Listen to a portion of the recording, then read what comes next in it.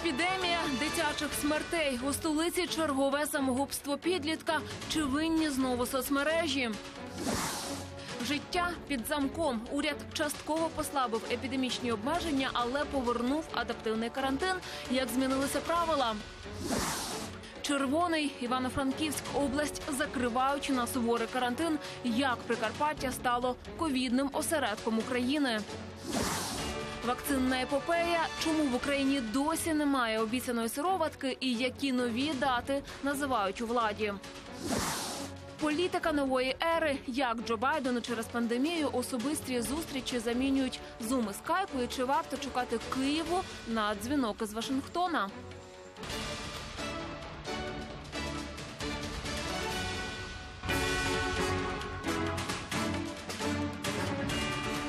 Події України та світу дізнаєтесь в подробицях студії Катерина Лисенко. Вітаю.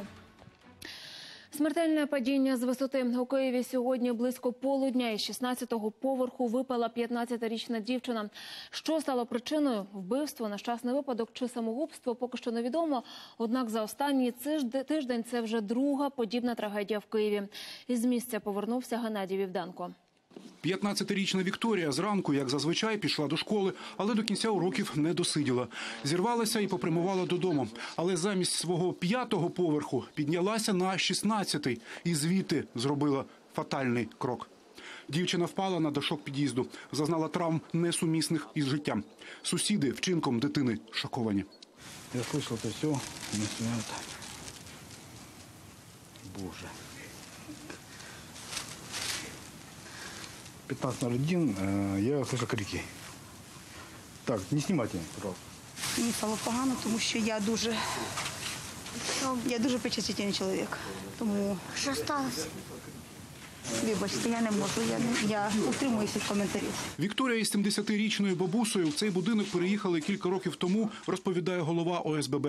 Сім'я видавалася порядною і спокійною, каже жінка. Батько дівчинки жив окремо. А де мати невідомо. Жінку нібито позбавили батьківських прав, і з донькою вона не бачилась. У її кімнаті все є. Я сьогодні була перший раз. Там комп'ютер, там все, все, і, і крісло, і все, все нове, все чистеньке, все. Ну, я, я не можу вам сказати, я не знаю, що, що сталося з дитиною. Подруги Вікторії кажуть, у поведінці дівчинки підозрілого не помічали. кажуть, вона була сумлінною ученицею, привітною і доброю. Хорошая была. Такая тихоня. Ну, нормальная была. Не знаю, может какая-то ссора. Я ее вчера видела, она была ну, нормальная, улыбалась, ходила в школе. А сегодня мы когда узнали, мы в шоке. Поліція відкрила провадження за кваліфікацією навмисне убивство. Водночас не відкидають підбурювання до самогубства. Наразі правоохоронці перевіряють всі версії та встановлюють обставини не, тільки цієї події, а й інших також. Чи може це бути самогубство? Е, Так, е, серед інших е, розглядається версія і версія самогубства. Слідчі наразі вилучили комп'ютер та телефон загиблої та перевіряють усіх, з ким вона контактувала останнім часом. У поліції зазначають, це вже п'ятий подібний випадок у столиці від початку місяця. Тож правоохоронці просять батьків бути уважнішими до своїх дітей і приділяти їм більше часу. Більше дарити е, тепла своїм дітям, більше е, роз- роз- розмовляти з ними, більше е, вникати в- їх життя, проблеми та е, круг їх е, друзів. Геннадій Вівденко, Геннадій Анікієнко. Подробиці телеканал Інтер. Ситуація зі смертельно небезпечними іграми стає критичною. Сьогодні в Умані госпіталізували трьох дівчат із гострим отруєнням ліками. Усі вони брали участь у тікток челенджі Випий по 40 пігулок. На щастя, їх усіх рятували. Зараз школярки у стані середньої тяжкості в лікарні. Теж у лікарні перебуває дівчинка з боярки. Її стан поліпшився. Із реанімації школярку вже перевели в терапевтичне відділення. Напередодні вони з подругою отруїлися медпрепаратами і подругу врятувати не вдалося. Усі нові подробиці цієї трагічної історії та страшної самовбивчої тенденції. Дивіться далі. Це лікарня у містечку Боярка. Саме тут врятували одну зі школярок, яку напередодні привезли з гострим отруєнням. Кожна із дівчат випили по 40 пігулок. Медики кажуть, дитина вижила дивом, бо таке передозування призводить до зупинки серця.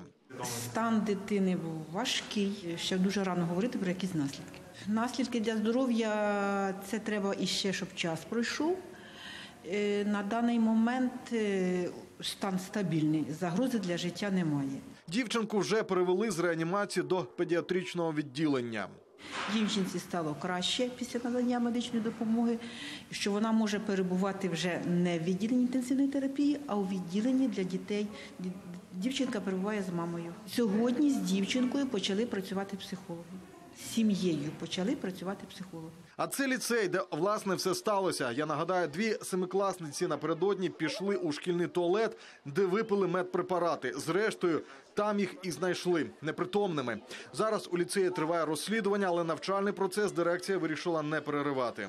Чи проводили з вами в школі якісь бесіди? Так, сьогодні проводили на, пос- на передостанньому уроці. Біля ліцею, де сталася трагедія, розташовані кілька аптек. В одній з них діти й купили препарат. У поліції кажуть, усе заради гри. У соціальній мережі TikTok, аудиторія якої здебільшого підлітки, з'явився небезпечний челендж. Відео із закликом проковтнути 40 пігулок. За інформацією, наданою у відео, було вказано, що треба вжити 40 таблеток цього препарату і подивитися на результат.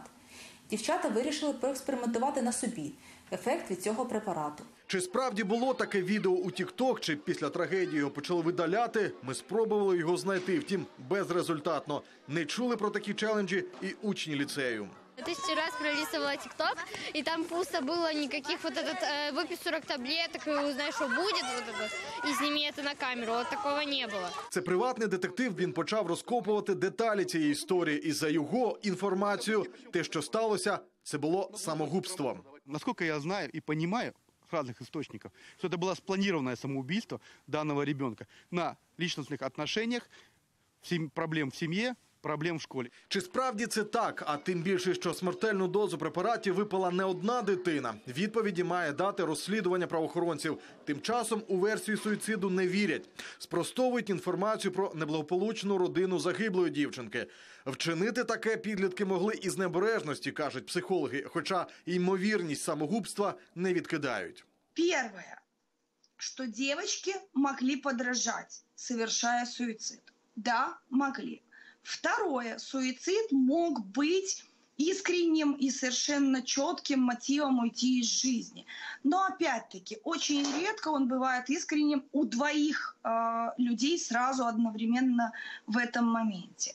Та чи можна говорити про нову хвилю дитячих самогубств через небезпечні ігри в інтернеті? Таке вже було кілька років тому, і тоді смертельна гра мала назву Синій кит.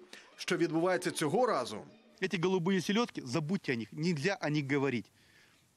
В- Ни в каких аспектах. Если вы хотите эффективную борьбу против них, не надо о них кричать. Против них нужно работать. Вочевидь, працювати зараз має кіберполіція, якщо і справді причина дитячих смертей криється у віртуалі. А батькам підлітків потрібно бути вкрай уважними до своїх дітей. Олександр Васильченко, Тарас Пилипець, Павло Лисенко. Подробиці телеканал Інтер. Аварія з десятьма постраждалими в передмісті Харкова. На київській трасі водій маршрутного автобуса не впорався з кермуванням, протаранив відбійник та перекинувся.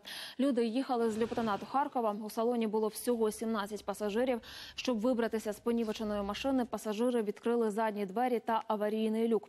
Очевидці стверджують, дорога була сухою і чистою від снігу.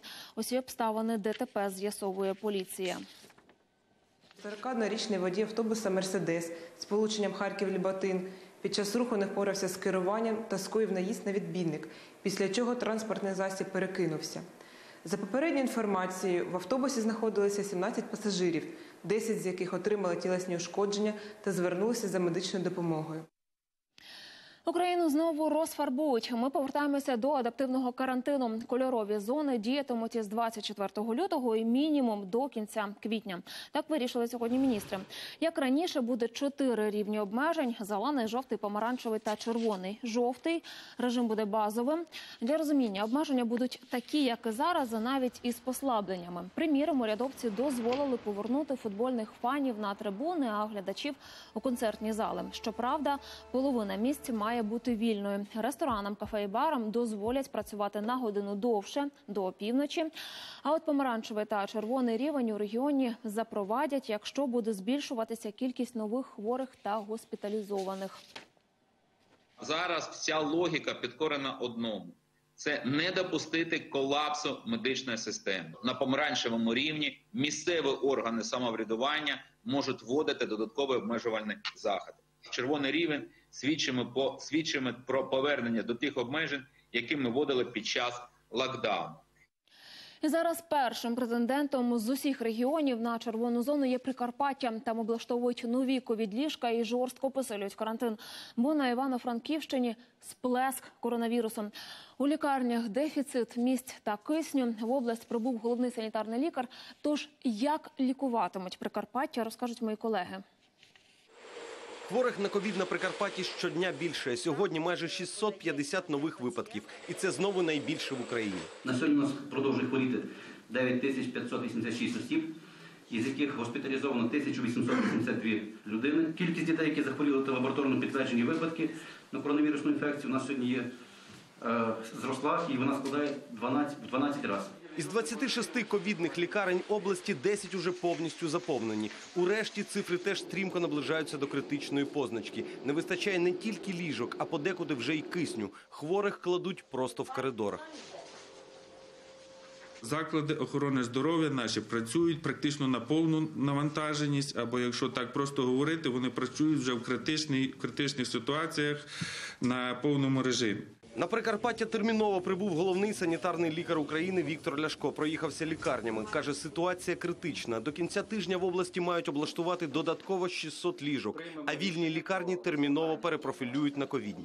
Вони готові додатково розширити і надати контракти і оплачувати медичну допомогу тим лікарням. Також ми сьогодні готові і е, приймемо рішення про розгортання додаткового тимчасового госпіталю, який був створений в 2020 році на базі Державної служби з надзвичайних ситуацій. Мобільний госпіталь розгортатимуть на території Богородчанської райлікарні за 20 кілометрів від Франківська. Тим часом швидкі вже почали возити хворих навіть в інші області. Сотню пацієнтів зголосилися прийняти лікарні Львова. Не вистачає медиків. А медиками ми вже будемо старатися на місці якось або просити Міністерство охорони здоров'я, тому що е, для того, щоб можливо перерозподілили медиків з інших е, з інших областей. Аби стримати швидке поширення епідемії, в області з понеділка запровадили жорсткий карантин. Ми будемо вносити жорсткі обмеження стосовно закладів харчування і їхнього функціонування. Щодо стосов- стосовно закладів розважальних, таких як нічні клуби, де скупчення людей, де люди ну реально ігнорують е, ситуацію з ковідом, будемо так вносити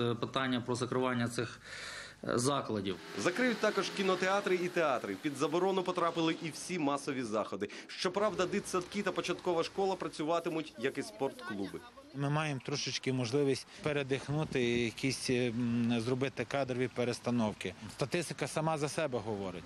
Коли є карантинні обмеження, е, значить кількість поступлень зменшилася. Коли їх немає, через певний час відбувається зріст е, важких випадків і стаціонарних госпіталізацій. Самі ж жителі області до нових обмежень ставляться з розумінням. Це треба було взагалі на весь січень зробити. Ми танцювали, співали, тепер що?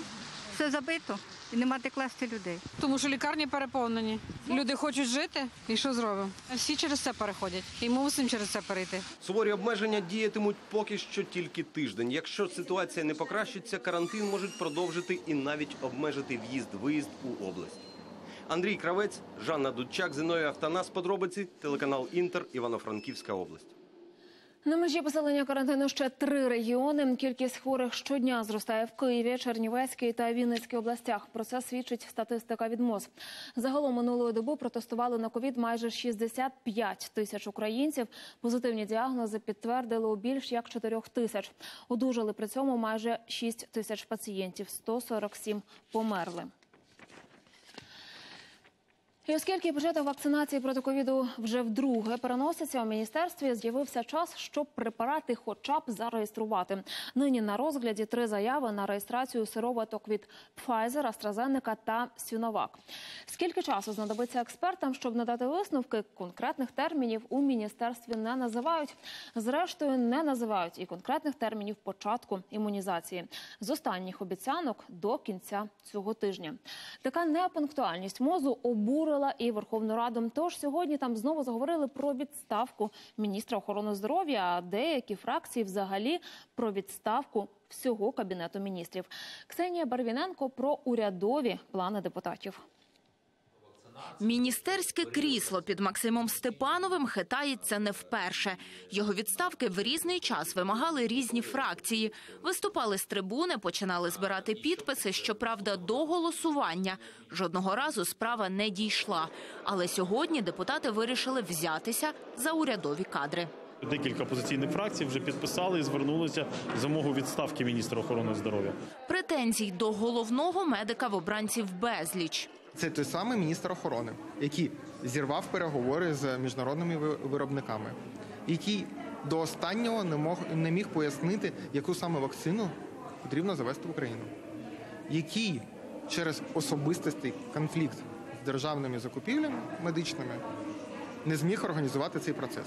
Обранці кажуть, чинний міністр охорони здоров'я провалив боротьбу з коронавірусом. Все, що він обіцяє, абсолютно все виявляється брехнею і нічого не відбувається. Доплати лікарям провалені, тестування провалені, вакцинація провалена, забезпечення киснем провалено. Все провалено. Вони його призначили, Степанова, слуги народу, і вони несуть відповідальність за нього. Та сьогодні й самі слуги заговорили про відставку Максима Степанова. Утім, дають міністру час на виправлення. Ви вимагаєте відставку його чи пропонуєте його відправити у відставку тільки на підставі того, що він затягнув цей строк на тиждень. Ну я не переконаний в тому, що це є достатньою підставою. Хоча я погоджуюся з вами в тому, що є прострочення, і, і щодо цього прострочення ми повинні зробити висновки. А от у опозиції вважають, що у відставку має піти взагалі увесь уряд. Тему заболтали. Столько было телеэфиров, интервью, рассказов о том, что мы скоро будем вакцинироваться, а на самом деле вакцинированию не приступили. Мы выступаем за ставку всего правительства, поскольку это глобальная тема, за это отвечает сам премьер-министр, за то, чтобы было и финансирование, и технические процедуры все проведены, и подготовлена информационная политика. І доки в кулуарах вирішували, чи є причини для кадрових ротацій в Кабміні, у залі, хоч і не надто активно, але тривала робота. Обранці схвалили постанову, в якій засудили злочинний режим Януковича. У документі революцію гідності називають одним із ключових моментів українського державотворення. Я хочу звернутися до сімей всіх загиблих, до сімей е, родин Небесної Сотні, подякувати їм за ту величезну втрату, які їх близькі зробили. Сьогодні, чесно, я впевнена, кожна мама, кожна дружина може видохнути і сказати, що справедливість прийшла. Услід за постановою погодили можливість заочного засудження причетних до злочинів на майдані. Зміни до кримінального процесуального кодексу, які дозволять нам і оголосити повноцінний розшук, чого ми раніше не могли зробити, е, тих, хто причетний до злочинів проти революції гідності, до загибелі героїв Небесної Сотні. А під кінець робочого дня обранці схвалили податок на Google. Щоправда, поки що в першому читанні. Законопроєкт зобов'яже інтернет-гігантів, які працюють в Україні, сплачувати податки. Ксенія Барвіненко, Володимир Самченко, Олексій Шматов. Подробиці телеканал Інтер. У ЄС тим часом вже повним ходом відбувається вакцинація, хоча й не без проблем. Усе більше європейців відмовляються щепитися через ризик побічних реакцій. Особливо це стосується препарату фірми AstraZeneca. Україна, до речі, до кінця місяця має отримати мільйон доз цієї сироватки. Тож, що варто знати українцям, розкаже Тетяна Логунова з Берліна. Pfizer, BioNTech, Moderna і AstraZeneca. Усі вакцини, які наразі затверджені в ЄС, треба вводити двічі з інтервалом у кілька тижнів, а то й місяців. Втім, незабаром на ринку може з'явитися сироватка, яка значно пришвидшить процес вакцинації. Йдеться про препарат від компанії Johnson Johnson. Для імунізації людини достатньо однієї дози. Я думаю, наша вакцина допоможе людям. Вони менше боятимуться, адже достатньо однієї дози. До того ж, ми плануємо, що щеплення нашим препаратом можна буде зробити просто в аптеці. Мінус цієї вакцини нижча ефективність. Клінічні випробування показали, що препарат зменшує ризик захворювання на 66%, плюс невибагливість щодо транспортування і зберігання.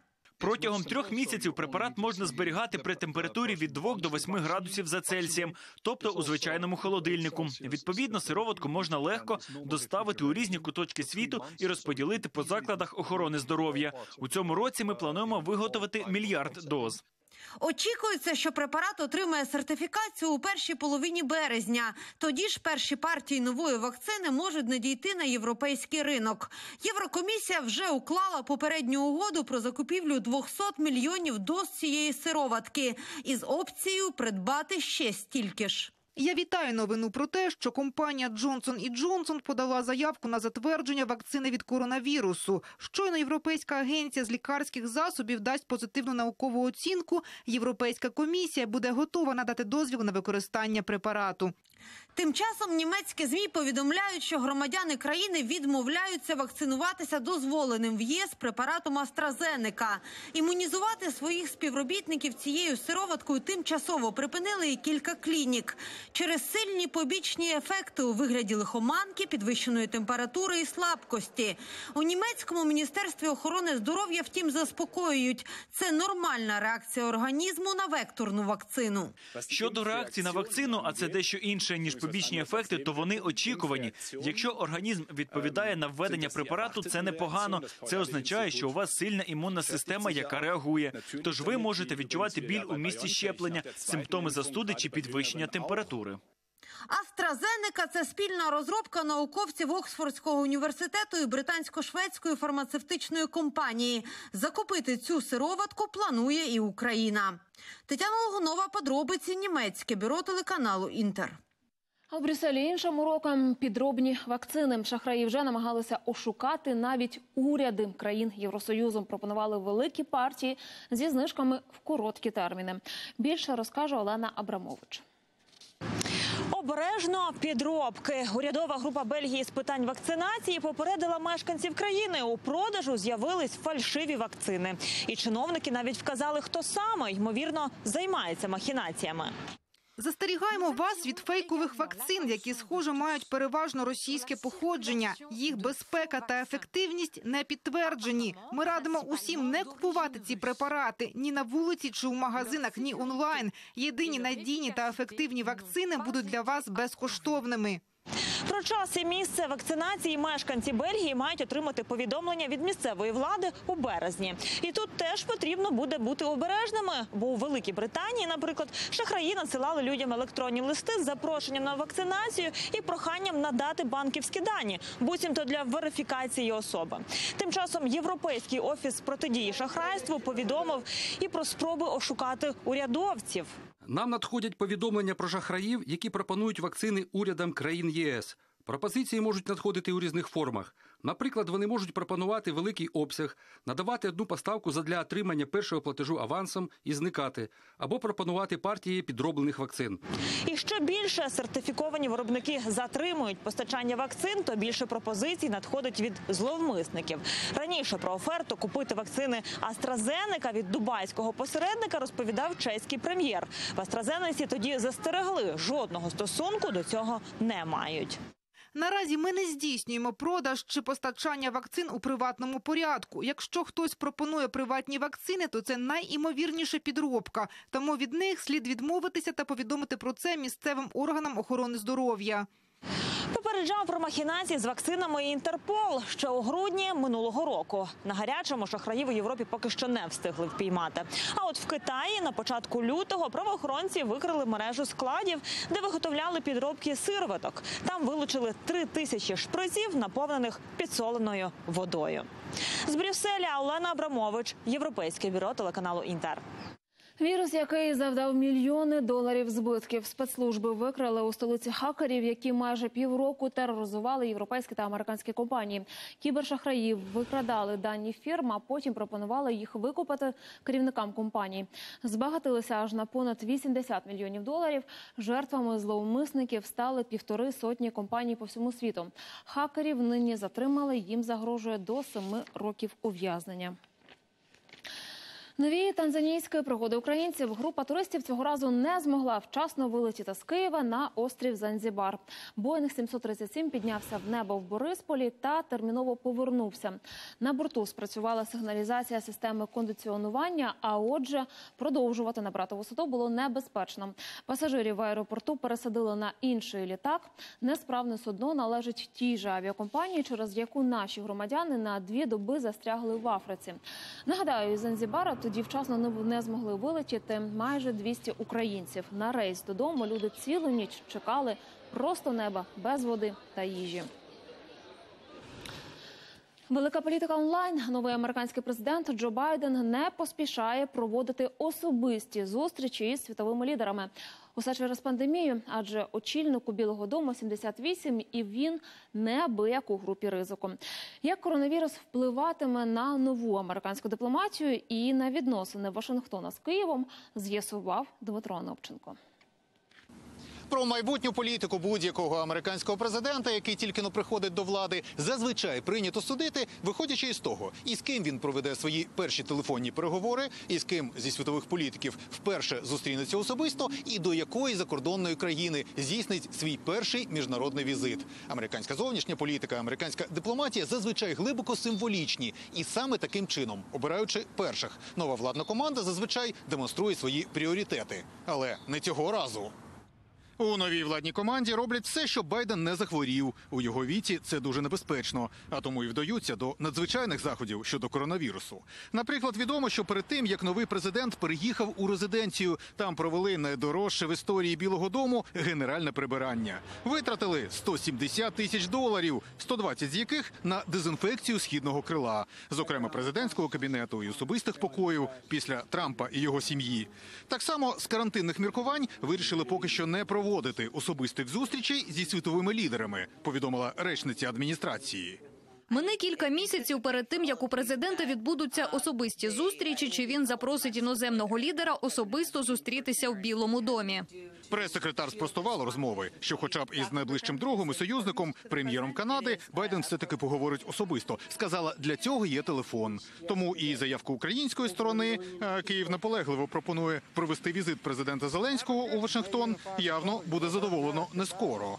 Через коронавірус зараз весь світ розмовляє в скайпі або у зумі. Втім, для політиків це не варіант надто небезпечно. А от телефонні лінії навпаки захищені від прослуховування. Про це мало хто знає. Але Сполучені Штати для ключових країн-партнерів, зокрема і для України, навіть провели спеціальні захищені телефонні лінії. І саме така з'єднує Київ і Вашингтон, офіс президента і ситуаційну кімнату у Білому домі. Є такі лінії із Парижем, є із Берліном. І саме тому перші перемовини із Байденом і будуть лише телефонними.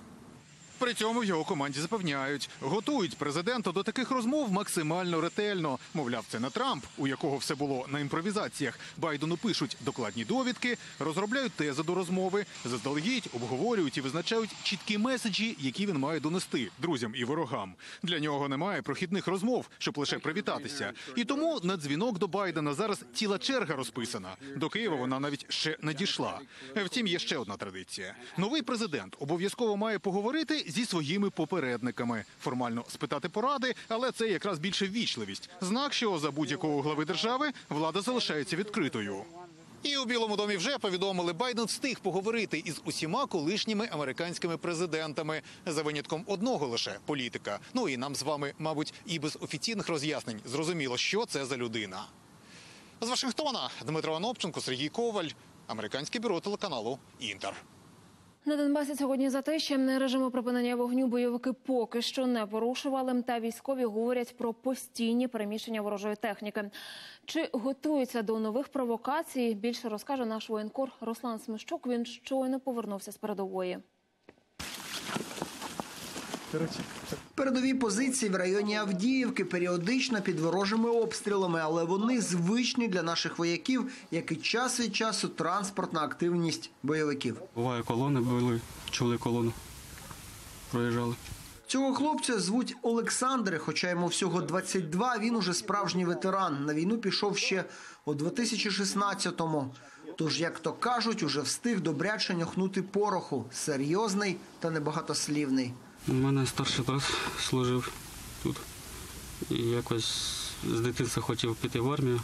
І як сповнилось 18 років, одразу вже пішов до брата. Разом служили з ним. Треба ж комусь захищати нашу країну.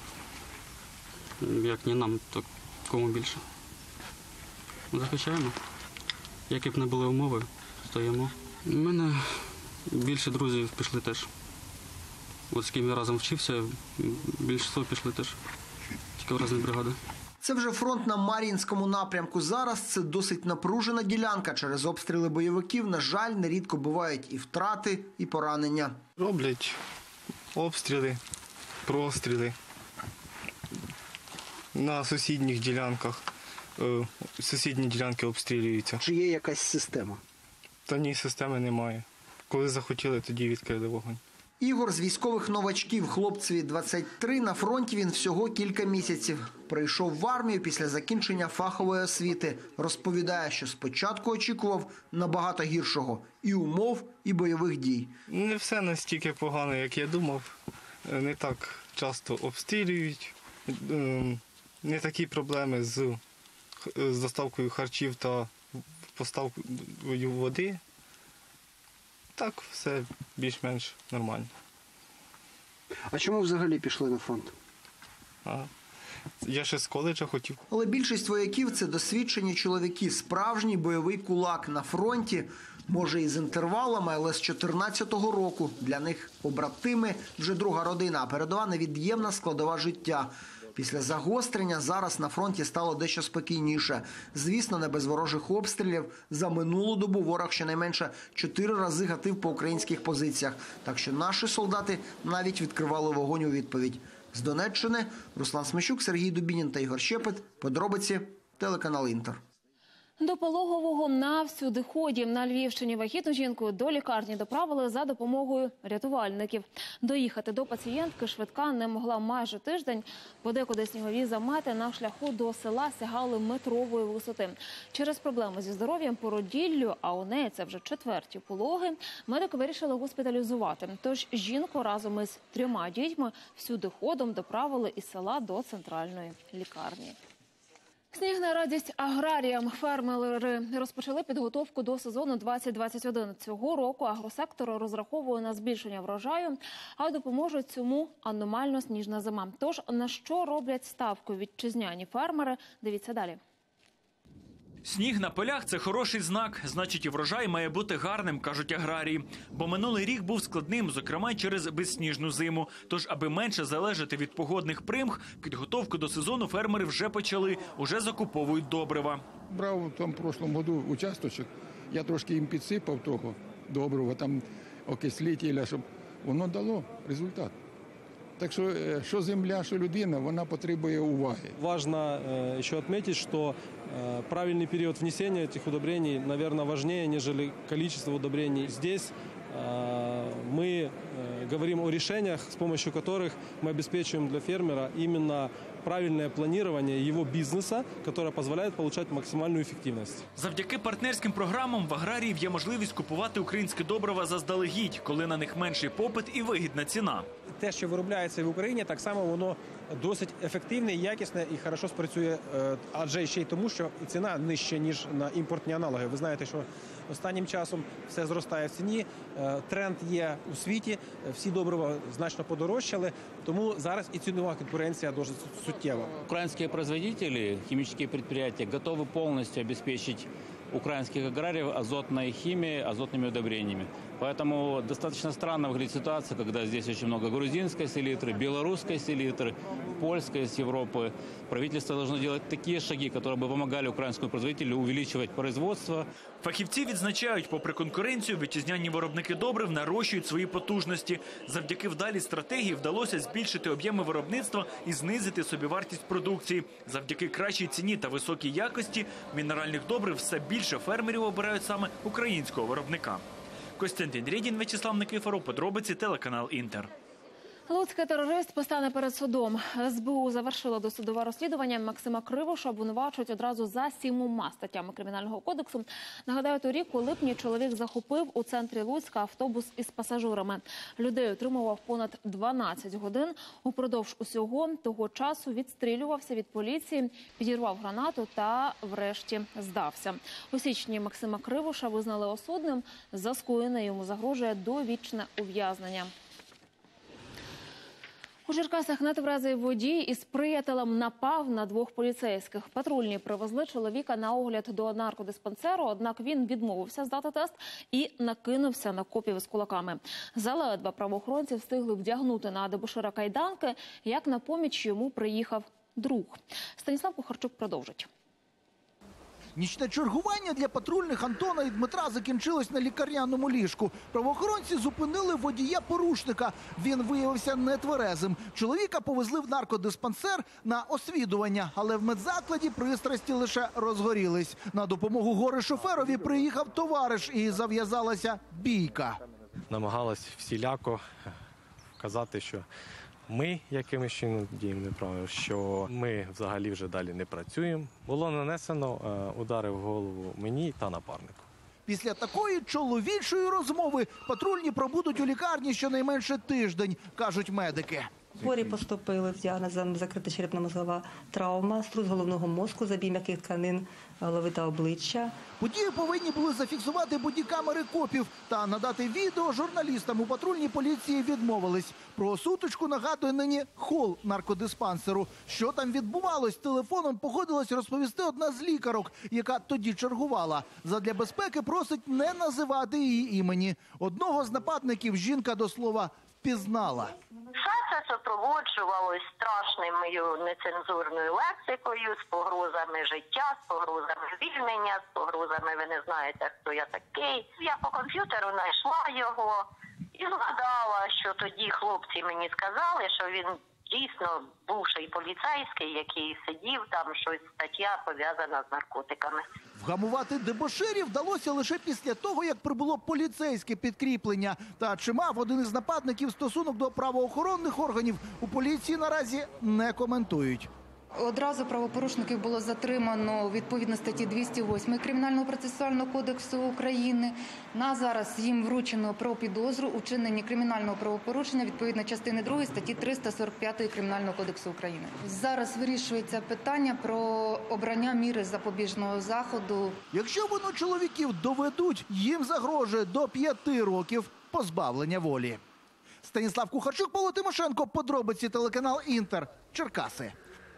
Чергове підвищення пенсійного віку в Україні цього року жінок урівняли в правах з чоловіками щодо віку виходу на пенсію. Тепер це 60 років для всіх. Зміни торкнулися і вимог до трудового стажу. Тож, що чекати українцям у майбутньому, розкаже Олена Логінова. До пенсії ще треба дожити. Такий слоган стає дедалі актуальнішим в Україні, адже пенсійний вік, як і вимоги до стажу, регулярно збільшують чтобы все пенсионеры уже вымерли, чтобы никому не платить пенсию, чтобы люди просто не доживали до пенсии. Так емоційно про пенсійне питання говорить Валентина. І не без підстав.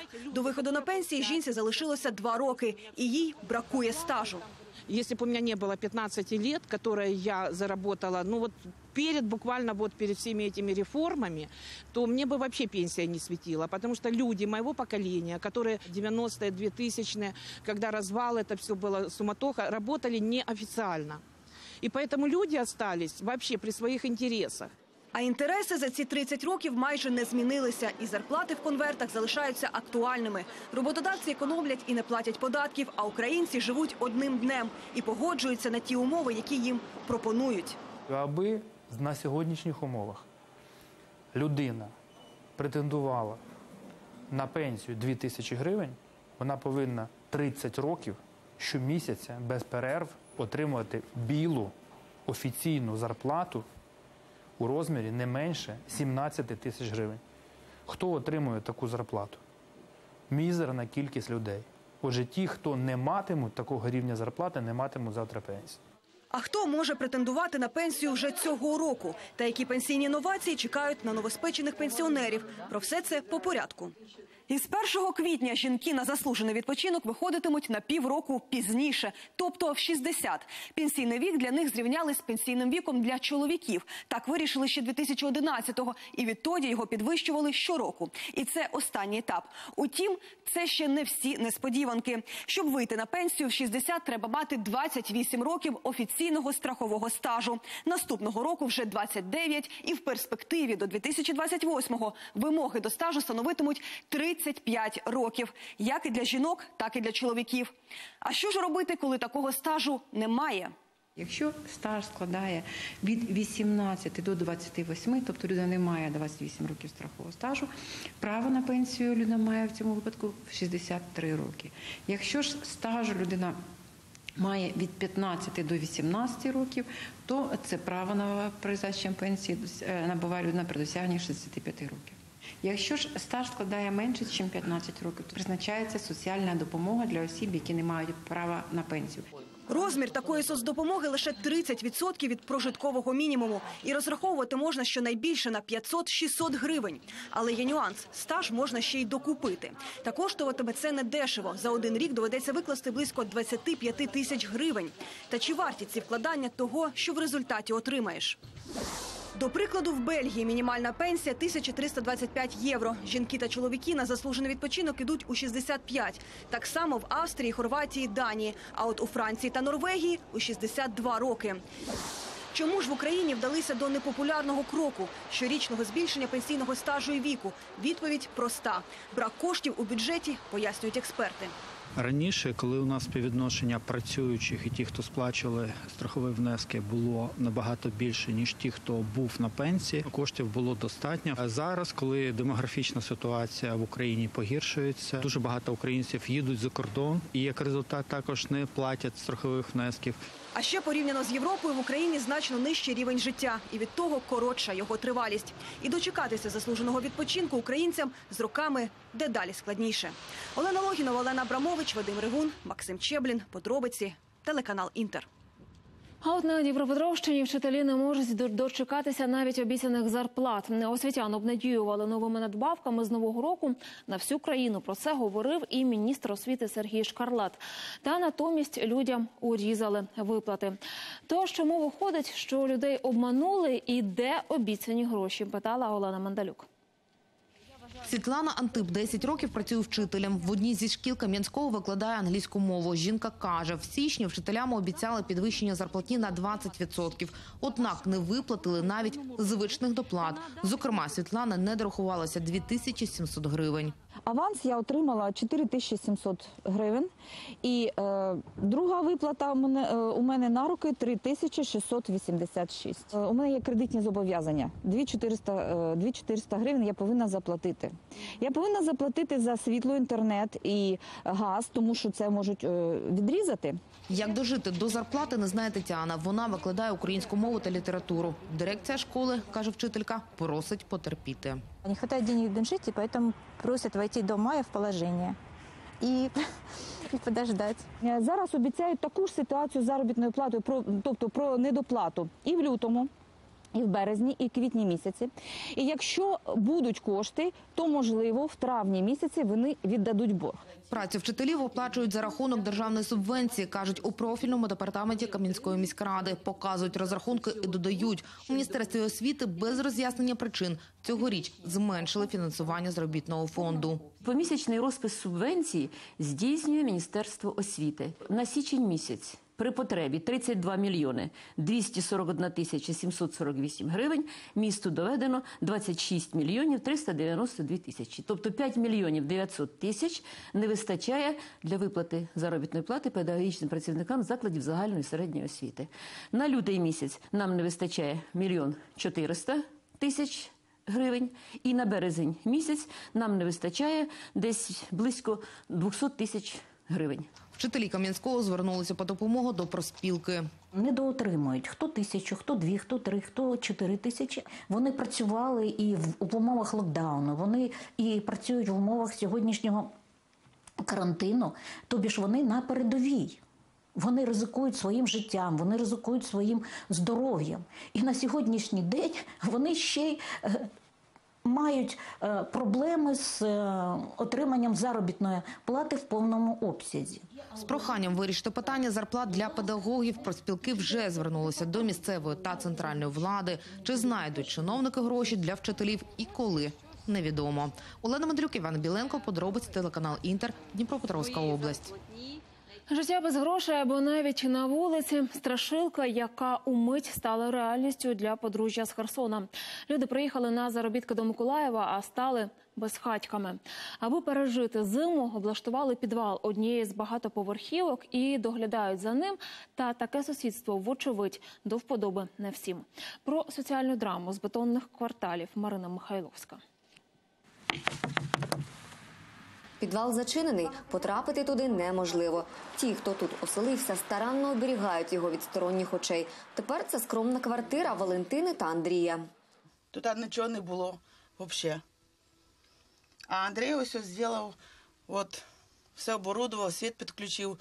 Тут у нас і стірка є, ну, воно і водичка в нас є, і матраси, і по, ось поубирали все. І воно у нас і кроваті, ось, ну, подивіться, як тут у нас все. До Миколаєва подружжя приїхало на заробітки. Утім, усі кравні в них поцупили, тож іншого житла собі дозволити не можуть. Мешканці будинку розповідають, що шкоди сусіди не роблять, проте на яких підставах зайняли їхній підвал, не розуміють. У нас там постоянно дверь, э, металлическая дверь, то ли она не закрывалась. Нам, конечно, хуже. Мы на первом этаже живем, и, и холод туда поступает, и все. Ну, а потом вот это так.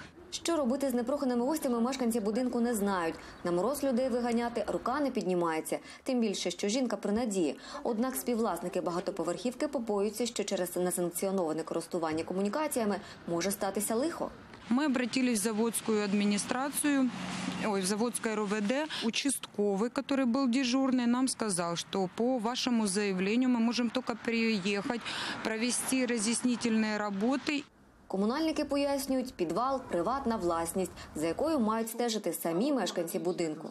Це перший раз, коли люди заселяються в підвал. Що значить заселилися? А куди дивляться усі співвласники? Управляюча компанія, яка надає послуги згідно договору. Послуги як виселення бомжів з підвалу немає. Після розголосу місцевих змі до проблемного подружжя все ж приїхала поліція. Вагітну жінку відправили на обстеження до лікарні, а родину планують влаштувати у соціальний заклад. Марина Михайловська, Олексій Уманський. Подробиці телеканал Інтер. Миколаїв. І це всі новини на цю годину. Більше як завжди на нашому сайті. Подробності є. Я В прямому ефірі побачимося завтра. Я бажаю вам гарного вечора та до зустрічі.